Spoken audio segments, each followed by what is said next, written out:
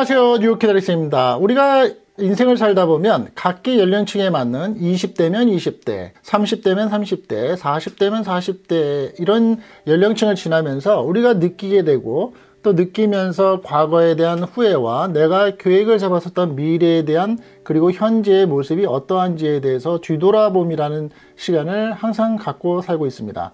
그런데 나이가 50대 중반이 되면서 우리가 알게 되는 몇 가지의 내용들이 있습니다. 어느 정도 이제 인생을 살면서 중후반에 접어들면서 이제는 어, 인생에 대해서 어느 정도 좀 알게 되고 사람이라는 게 무엇인지 알게 되고 또 내가 살아오면서 목표를 가졌던 부분들이 무엇인지 또 어떻게 이루어졌는지 아니면 왜 실패를 했는지에 대한 부분을 뒤돌아보는 시기가 되곤 합니다. 자, 오늘 영상에서는 나이가 50대 중반이 되면서 알게 되는 어떻게 보면 깨닫게 되는 것도 있을 수 있고요. 어떻게 되면 만족감을 느끼는 경우도 있을 수 있겠죠. 50대 중반이 되면서 알게 되는 것들이 무엇이 있을지 한번 여러분들과 공유된 시간을 갖는 시간을 갖도록 하겠습니다. 자, 이 영상 한번 들어보시고요. 좋으셨으면 이쪽 아래에 있는 구독 버튼과 또 이쪽 아래에 있는 좋아요 버튼 꼭 눌러주시고요. 또 제가 드리는 말씀 가운데 있어서 어, 구독하시고 시청하시는 분들께서는 또 이 연령층에 계시는 분들에서는 아, 나는 그런 거 말고 또 이런 부분도 있더라. 그리고 내가 살다 보니까 이러한 부분도 느끼게 되더라. 이런 게 있으시면 서슴치 마시고 댓글로 어, 여러분들의 의견을 많이 남겨주시기 바라겠습니다. 자, 오늘 키다리 쌤이 말씀드리는 50대 중반이 되면서 알게 되는 것들 무엇이 있을까요? 예, 첫 번째입니다. 30대, 40대에 급상승하던 나의 자존감, 20대 때, 10대 때 목표로 가졌던 것을 위해서 열심히 살아오고 또 뭐 그 목표를 위해서 최선을 다하고 살아왔는데 30대, 40대에 왕성하던 그 자신감, 그리고 나의 자존감, 그러한 경우가 한 번에 꺾이는 그런 점이 있는 것 같습니다. 사실 10대, 20대는 목표가 굉장히 왕성하고 또 포부도 대단했죠. 그 포부를 위해서 학교를 졸업을 하고 사회생활을 시작을 하면서 좋은 사람을 만나고 싶고 위대하고 존경스러운 사람을 만나기도 하면서 나의 원대한 꿈에 대해서 30대, 40대를 위해서 최선을 다하면서 살아갔습니다. 그런데 30대, 40대가 되면서 어, 목표로 했던 것들이 사회와 나름대로는 타협이라는 걸 안 할 수가 없게 되고 또 내가 원하는 대로 내가 계획한 대로 내, 내 뜻에 따라서 100% 들어지지 않는다는 것을 알게 됩니다. 그러면서 50대가 들어서고 50대 중반이 되면서는 나의 그 왕성하고 나의 그 잘났고 내가 그렇게 자신 있어 하고 내가 그렇게 목표로 했던 것들이 어느 정도 가서는 꺾이게 되죠. 그리고 나서는 아 나는 이 정도 선에서는 이제 만족을 해야 되겠다. 아니면 나는 아 이 정도밖에 안 되는구나. 또 나는 어, 이 정도 선에서 이루어진 모든 모습들이 최선의 모습이었다라는 어, 나름대로의 합의 그리고 나름대로의 타협을 하는 시기가 오게 됩니다. 어떻게 보면 그러한 모습들 속에서 다른 사람들이 나를 봤을 때 겸손해지는 사람이 되고 있다. 겸허해지는 사람이 되고 있고 사람이 안정적인 사람으로의 모습으로 보여지고 있다라고 느끼는 그런 모습이 되는 경우도 있을 수 있습니다. 하지만 낮아지면서 말수가 적어지고 다른 사람을 보는 데 있어서의 내가 적극성이라는 부분이 조금 더 둔해지거나 덜해질 수도 있습니다. 자, 여러분들은 어떠신가요? 여러분들 영상에서 시청하시는 분들의 이 나이대가 속하시는 분들은 여러분들의 지금 심정은 어떠신가요? 30대, 40대에 왕성했던 그 포부와 열정이 지금도 있으신가요? 있으시다 그러면 굉장히 박수를 받으실 만한 일일 거라 생각을 합니다. 자, 두 번째입니다. 시간이 갈수록 기억과 추억이 고무줄이 돼가는 것 같습니다. 이 고무줄이 뭐냐고요? 어, 단기간에 있는 일들은 자꾸 잊어먹게 됩니다. 나이가 들수록 단기 기억보다는 장기 기억에 더 의존도가 높아지는 것 같습니다. 예를 든다면 깜빡깜빡이라는 단어를 자주 쓰게 됩니다. 뭐 눈만 해도 눈이 침침해서 책을 읽거나 글을 읽을 때 힘들어지는 게 있고요. 내가 당장 10분 전에 무엇인가 말하려고 했던 게 대화를 하다 보면 잊어먹기가 일수고요. 내가 호주머니에 넣고 다니던 무엇인가를 잃어버리고 기억에서 나지 않는 그런 순간순간이 많아집니다. 그럼에도 불구하고 내가 있었던 어릴 적의 시절, 그리고 3년 전의 모습, 4년 전의 모습에 대한 부분은 생생하게 기억이 남고 이게 차곡차곡 내가 책꽂이에 책을 쌓는 것처럼 정리는 됩니다. 어, 참 이상하죠? 단기적으로 당장 있었던 눈앞에 있었던 내가 오늘 아침에 밥을 뭘 먹었지? 내가 어저께 저녁에는 몇 시에 잤지? 이거는 순간순간 잘 잊어먹습니다. 그런데 내가 5년 전에는 어떠한 모습으로 어느 거리를 걷고 있었지? 내가 누군가하고 카페테리아에서 맛있는 커피를 마셨던 그런 기억이 있어. 이런 긴 모습 속에 장기적인 시간의 기억들은 참 잘 납니다. 그리고 후회와 또한 행복과 또한 슬픔이 굉장히 기억이 생생히 남죠. 그런데 불구하고 단기간적인 일들은 자꾸 잊어먹고 잃어버립니다. 그래서 우산 하나를 챙기더라도 나 오늘 잊어먹지 마, 잃어버리지 말아야지. 나 이거 오늘 꼭 챙겨야지를 되새기게 됩니다. 젊을 때 그렇게 되나요? 당연히 기억할 수 있을 거라는 자신감이 많습니다. 그런데 나이가 50대 중반이 들었으면서 또 넘어서면서는 우산 하나도 잃어버리지 않게끔 잘 챙겨야 된다고 생각하는 거. 그리고 자동차 키 하나도 보관을 하는 데 있어서 신경을 써야지만 되는 거. 그렇죠. 여러분들 제일 많이 신경 쓰는 부분이 아마 자동차 키일 겁니다. 어디다 뒀는지 모르죠. 핸드백에 뒀는지 호주머니에 뒀는지 아무리 찾아도 없습니다. 나중에 찾고 보니까 엄한 데에 자동차 키가 있습니다. 어떠신가요? 세 번째입니다.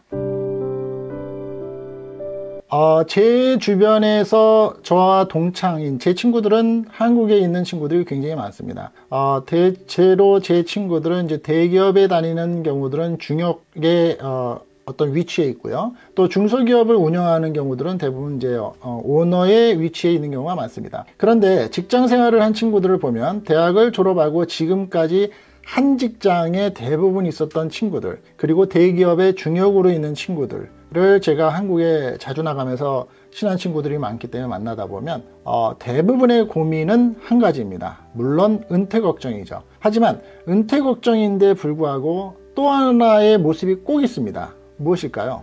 평생 동안 내 회사, 내 직장에 집에서 자는 시간보다 많았던 회사에 몸담고 왔었던 그 회사가 퇴직하는 시기가 가까워지니 회사는 날 잊는다라는 나를 잊어버리는 것 같다라는 생각과 그런 어, 의식의 모습이 많은 것을 보게 됩니다. 연봉을 받는다면은 뭐 잘 나가는 친구들 같은 경우는 한국 돈으로 뭐 2억 가까이 받는 친구들도 있고요. 또 대체로 전체적인 연봉 체계를 보면 한 1억 5천 정도의 연봉을 받고 있습니다. 경제적으로는 어느 정도의 안정을 갖고 있고 친구들과 나가서 술 한잔을 먹게 되면 친구들이 어 아주 편안하게 술 한잔도 사긴 합니다. 그런데 그 친구들의 마음속이나 모습 속에서는 꼭 느끼는 공통점, 곧 명예퇴직을 해야 되죠. 한국에서 명예퇴직 나이는 있다고 하지만 대체로 55세, 56세가 되면 거의 퇴직을 해야지만 됩니다. 자, 기업 입장에서는 많은 연봉이 나가고 있고 젊은 세대 더 스마트한 사람을 뽑는 게 이득이라고 생각하기 때문에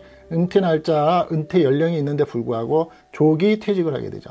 그런데 평생 동안 대학을 졸업한 동안에 30년 가까이 내가 몸을 담고 있었기 때문에 중역이라는 자리까지 갔는데 30년 가까이 있었던 내 회사가 막상 내가 퇴직할 나이가 되니까 회사는 나의 존재 가치에 대해서 그렇게 중요하게 생각하지 않고 막상 주변에서 나가는 사람들을 보면 나를 쉽게 잊는다는 겁니다.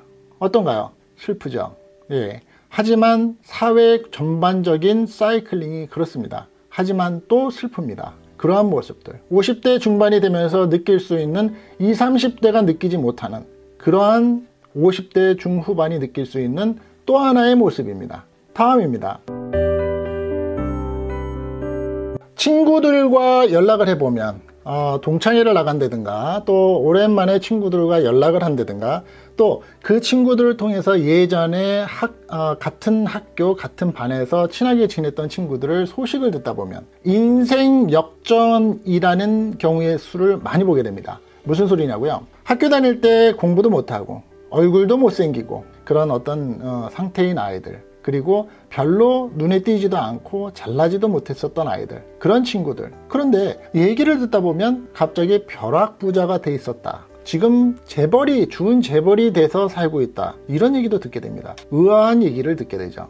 또 반대로입니다. 학교를 다닐 때 반장을 하고 전교 회장을 했어서 잘 나갔고 굉장히 멋진 친구였는데 친구들과 연락이 안 된다는 얘기를 합니다. 나중에 듣고 보면 부도가 나서 도망 다니는 신세가 있거나 사기에 연루가 돼서 피해 다닌다는 친구들도 있다고 합니다. 참 슬픈 일이죠. 그 얘기가 사실이든 아니든 어렸을 적에 학교를 다니면서 있었던 친구들의 인생 반전과 인생 역전에 대한 얘기를 참 많이 듣는 나이가 50대 중후반입니다. 이제는 살만한 사람은 살게 되고 아직까지 힘들게 살고 있는 친구들은 힘들게 살고 있고 이 모습을 분명하게 극명하게 볼 수 있다는 점이죠. 어떠세요? 동의하시나요? 참 많이 보게 됩니다. 때때로는 웃을 수 있고 때때로는 자존심도 조금 상합니다. 배도 아프고요. 왜냐? 어, 그 친구들은 재벌이 돼 있다고 하는데 배가 조금 안 아프진 않습니다. 아픕니다. 그런 친구들 뭐가 그렇게 잘났었는지 내가 나는 그에 비해서 뭐가 그렇게 못났는지 뭐 이런 생각들 저런 생각들 50대 중후반에 계시는 분들 생각 안 드시나요? 자 마지막입니다. 제가 드리는 마지막의 모습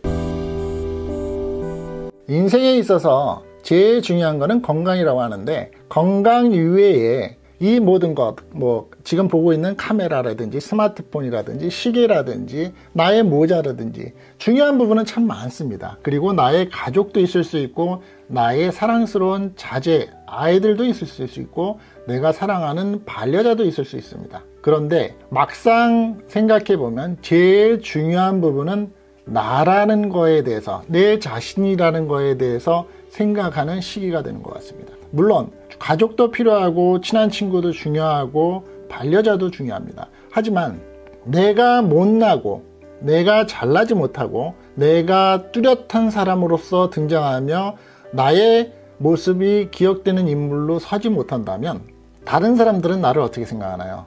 별 볼 일 없는 사람으로 생각하죠. 결국엔 무슨 얘기인가요? 제일 중요한 거는 나입니다. 나이 50대 중반 넘었으면서 알게 되는 부분은 인생에 있어서 뭐니 뭐니 해도 제일 중요한 건 나입니다. 건강도 나의 건강이 우선이고요. 돈도 내가 많아야 가족을 support하고 가족들이 나를 존경합니다. 내가 건강하지 못하면 아무리 가까운 친인척 형제자매 하더라도 나만큼 내가 아픈 몸의 일부 구석을 아는 건 아니죠. 내가 손가락이 삐어서 내가 귀에 물이 들어가서 어떤 고통을 느낀다면 그 고통에 대해서 안쓰러워하고 안타까워는 하겠죠. 하지만 누가 아픈가요? 내가 아프죠. 나만큼 아픈 걸 아나요? 모릅니다. 인생에 있어서 50대 중반이 넘어서면서 제일 생각나는 것들의 다섯 가지. 뉴욕 키다리쌤 입장에서 개인적으로 말씀을 드렸습니다. 어떠신가요? 동의하시는 부분이 있으신가요? 제 생각에는 동의하시는 부분이 많으실 거라고 생각합니다. 사는 곳이 어디든 내가 지금 어떻게 살고 있던 지금 말씀드린 다섯 가지는 사람 살며 내가 느껴오고 내가 성장하고 어른이 되고 이제는 중후한 중년의 나이가 됐을 때 느끼는 감정입니다. 여러분들 제가 드린 말씀 말고도 여러분들의 의견이 있으시면 편안하게 댓글로 남겨주십시오. 제가 오늘 말씀드린 다섯 가지. 자, 첫 번째 뭐였던가요? 나의 자신감과 자존감이 어느 정도 합의하에 내려가고 꺾여지고 있는 부분이 있었다라는 걸. 두 번째가 뭔가요? 단기간은 기억을 자꾸 못하는데 장기간은 기억을 한다는 거. 참 어불성설이라고 하나요? 이상하죠? 세 번째입니다. 직장 생활을 하거나 사회 생활을 하는 경우에는 내가 평생처럼 생각하고 내가 최선을 다하고 못 맞춰왔었던 직장, 회사가 나의 한순간에 퇴직의 시기가 오니까 날 잊고 있다라는 거. 쉽게 잊어버리고 나를 쳐낼 수 있다는 사실을 느낀다는 거. 네 번째로는 오랜 적 어릴 적의 친구들이 인생 역전과 인생 반전이 되는 모습을 많이 본다는 거. 마지막으로는 내가 살면서 제일 중요한 게 무엇이라고 느끼느냐? 바로 내 자신이라고 느끼는 거.